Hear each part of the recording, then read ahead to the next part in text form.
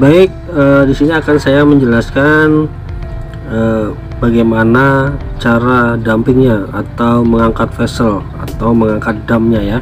Jadi di sini tidak perlu bingung ya di sini ada tanda ataupun simbol-simbol.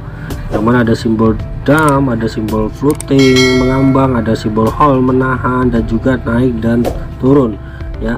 Dan arah gerak dari lever dam ya baik.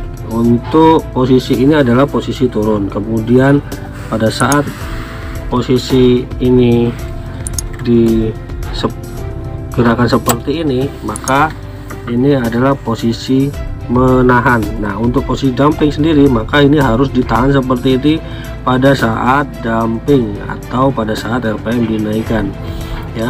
Jadi untuk posisi normal ya ini harus seperti posisi seperti ini posisi pengambang ya. Jadi kalau untuk menurunkan harus ditahan seperti ini kemudian kita lepaskan dia akan berada pada posisi mengambang ya.